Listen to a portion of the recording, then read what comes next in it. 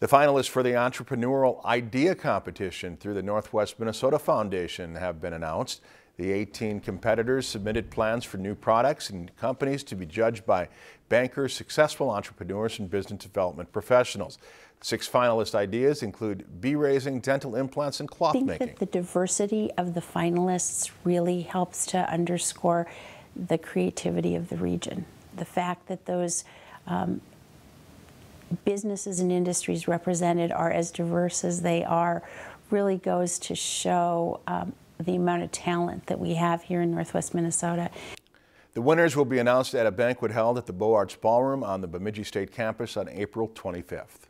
If you've enjoyed this segment of Lakeland News, please consider making a tax-deductible contribution to Lakeland Public Television.